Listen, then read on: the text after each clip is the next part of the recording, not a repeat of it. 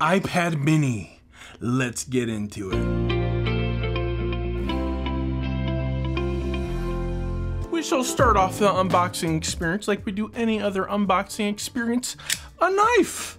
That's right, a knife! A spring action semi-quasi makes me feel tough like I might have a switchblade type of knife, but I really don't, so don't worry about that. So we are gonna go ahead and get into this box iPad mini. I think I know what color I got based on what color my Folio keyboard is, but it's been so long since I've ordered it that I've ordered a couple things. Wow. Okay. So it looks like I got a smart Folio keyboard and a smart Folio keyboard. One of them's going back. And we have the iPad mini, and it looks like it is none other than purple, just like our folio case. So here it is, purple folio case, iPad mini. This is spectacular. Now I have secured a good amount of Apple products this release for all of you guys. So enjoy the videos, watch the videos, make me spending my hard-earned money on these devices for your viewing enjoyment worth it just make it worth it. Hit the like, comment, subscribe, and most importantly, share my content with your friends and family on social media. So, Apple has made the unboxing experience a little easy. But from what I recall on the iPhones, there was no plastic on the outside, and now we're at the minis, which is a bigger box. Now, mind you, they're probably selling less of them. They're just as expensive, but they're still choosing to put the plastic on it. Doesn't make any sense to me. So they make it easy to pull it off, but if they were gonna remove the plastic from one device, one product, why not the rest of them? And that's what I don't understand here. But let's just go ahead and take a quick little tour, a victory lap, if you will, around the box. So we have this mini right there. I'm sure that says mini in some sort of abstract way, one way, shape, or form. We've got the color mini and we've got a mini apple. So it. It's the box and all the gizmos and gadgets and numbers and crumbers are on the back. And now, without further ado, let's see the iPad mini. Never owned a Mini, never used a Mini. So I'm pretty excited to see what is this.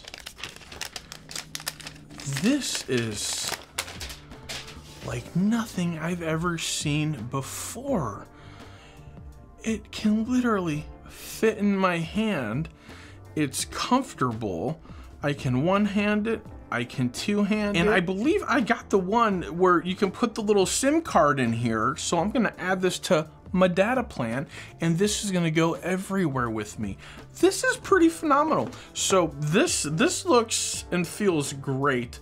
It's got that giant old lens there. So that's a big old lens on there. Most likely it's a 12 megapixel lens because somewhere back in the 90s, Apple bought 12 megapixel lenses in bulk and now they're getting a chance to use them all. So I've broken the story. I know why they're doing it. So charging brick, charging cable, sending mixed messages, Apple, sending mixed messages. All I want to know is do I get a purple mini sticker? I don't. I get white stickers. So when I bought my colored iMacs, I did get colored stickered. So I'm gonna go ahead and tuck these away because there's a good chance I do not need them and I'll never use them. I will just add to the cords and cables and plugs polluting my house. So I agree with Apple's decision to remove the plugs from the boxes. I just wish they would send a better message and stay a little more consistent with their decision to remove the charging bricks or outlets outlets from the box because now here we are another device just as popular, maybe not as popular, I like to think it is, and they're putting it in there. So what's good for the goose is good for the gander. It means what you do for one, you do for the other, but Apple doesn't seem to think like that. They kind of have a hierarchy of stuff. I don't know maybe they're banking on you not having a USB-C to USB-C cord or outlet. I don't really know, but it is what it is. Here is our Smart Folio case, which somehow I ended up with two. Don't know how, don't know why. Uh, don't remember buying two, so we got a little bit of investigation to do. So Smart Folio case just goes ahead and attaches there.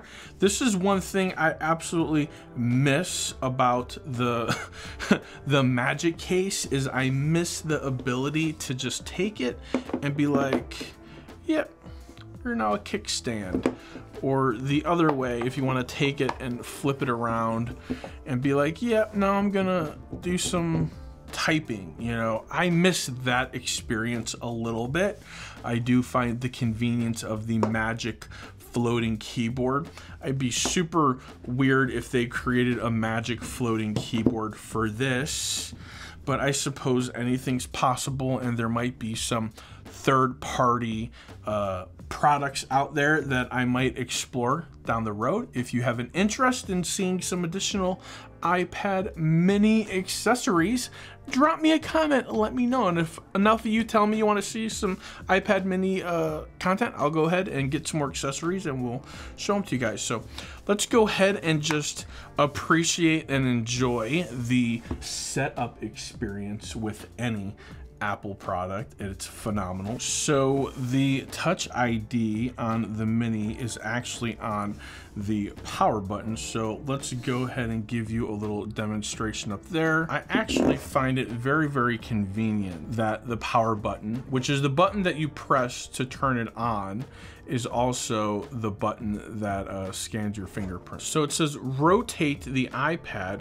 in order to give another fingerprint access to go ahead and um, unlock it, which is super smart because if you had this fingerprint scanned up there, you'd have to come over here if you ever had it there. So I actually commend Apple for forward thinking that and getting that on the books because that was that's super smart right there. That's what I gotta say. Apple, you got smart people working for you. Well, here we have it, folks. The iPad mini definitely fits in your hand. It has the Smart Folio cover, which I think is absolutely mandatory. It's got Touch ID on the top. It is little. It's super cute. It's super small. It stays in your hand. It can go in your pocket. It's one-handed. I can do so much with this. I can, I'm just like, it's blowing my mind right now, this moment, why I've never had one of these before. I am very, very, very happy that I got the one with the 5G. I think having 5G in your devices is super important.